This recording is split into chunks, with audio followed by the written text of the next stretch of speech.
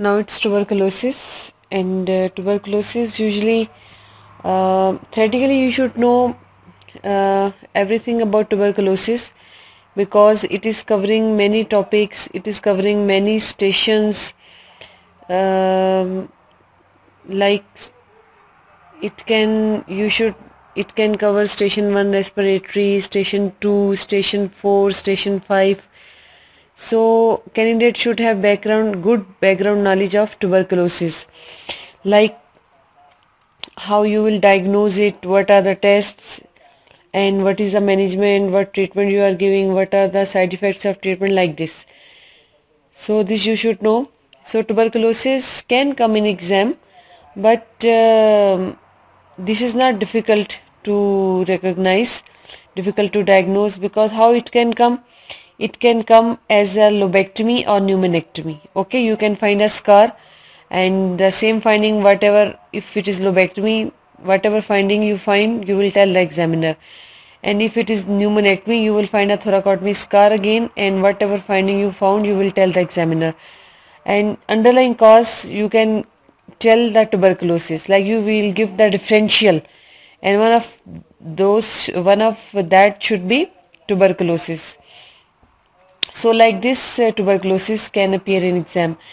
Also it can appear as an apical fibrosis and uh, as you know all what are the features of fibrosis and how to present. So like this it can come.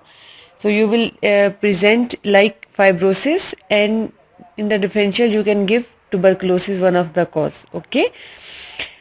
And uh, so like this or as a pleural effusion right so what could be the what could be the command? The command can be patient presented with breathing difficulty right? And uh, now if there is apical uh, how you will present? If there is apical fibrosis you all know the causes for apical fibrosis.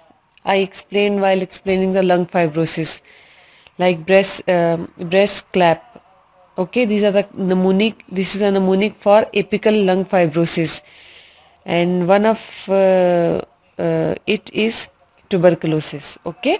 Breast the T T stands for tuberculosis. So if it is apical fibrosis you will present like fibrosis as I have already explained in the lung fibrosis. And if it presents like lobectomy and pneumonectomy then you will present it like pneumonectomy and uh, pneumonectomy or lobectomy. This also I explained yesterday right? So this is not difficult. Do not be afraid and do not be scared. I have seen many candidates. They are uh, scared from tuberculosis and whether this will come in exam or not what will happen if it come how we will diagnose. So this is not difficult to diagnose as i have explained right? Um, the common things always you will get either fibrosis or thoracotomy scar. And then you have to present your findings and underlying cause. In the differential you will give tuberculosis. Bus. This is this you should know so now one thing I want to tell you, you should know the differences between uh, thoracoplasty and pneumonectomy because if you find a thoracotomy scar on the chest, the differential I explained yesterday, one of uh, that can be pneumonectomy and thoracoplasty. And so how you will differentiate whether clinically, whether this thoracotomy scar is because of thoracoplasty or pneumonectomy. So there are few differences I will tell you. In thoracoplasty what happens? The chest deformity is more prominent. Okay? Because many of the ribs have been resected and uh, so there will be evidence of rib resections superiorly. While in pneumonectomy, chest deformity will be there but less marked, very less marked. But in thoracoplasty, the chest deformity will be very clear, right? And uh, chest expansion, if we see, in thoracoplasty, it is reduced in the upper zone, while in pneumonectomy, it is reduced throughout hemithorax. Although you will not make your diagnosis on the chest expansion, as always I tell. So, regarding percussion note in thoracoplasty, it will be dull only in the upper zone where ribs have been resected, while in pneumonectomy, it will be dull throughout the hemithorax. Okay.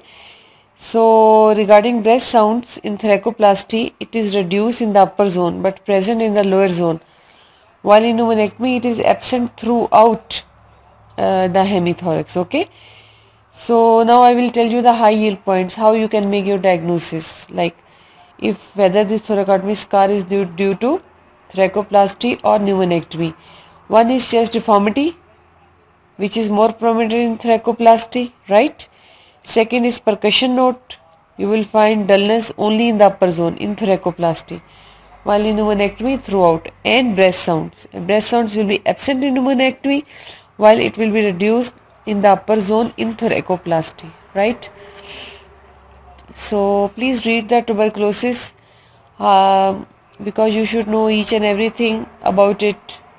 You should have good background knowledge and now how you will investigate again the same test which we are doing and uh, regarding it uh, sputum as you all know that th three sputum samples are required for AFB staining and using um, ZN stain. And uh, then culture is done in the LJ medium. And for rapid detection PCR can be done right?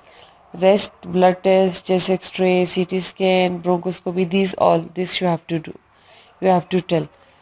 And you should know about tuberculin test and Mantoux test Heaf test and uh, how you will do contact tracing like if you get tuberculosis in communication skill station 4 so you have to do contact tracing. And what is contact tracing?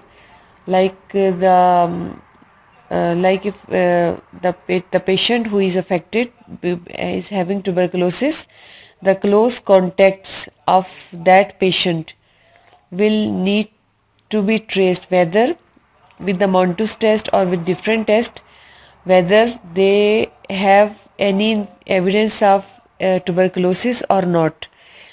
This is called contact tracing. And what are what will be those people? Those people will be who are frequent visitors to that tuberculosis patient or his uh, family members and uh, his friends his close friends and uh, in the university or in the office where he is going he is sitting. So all close contacts contact tracing is done. And do not forget contact tracing because this is very important aspect. Whenever you get any communicable disease you have to do contact tracing okay? And then you should know about chemoprophylaxis in tuberculosis please read it. And uh, like I will tell also that all children less than 5 years of age who are close contacts with smear positive individuals irrespective of tuberculin test result should be given prophylaxis. And all patients with previous history of tuberculosis or radiological evidence of previous tuberculosis who are receiving immunosuppressive therapy they should be giving chemoprophylaxis right? And now how you will diagnose uh, how you will treat this treatment also you should know that uh, what is the treatment which drugs are given what are the side effects very important please memorize it.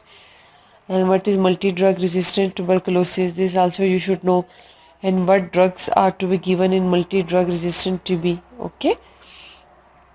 So please uh, uh, memorize it because it can be asked in the exam.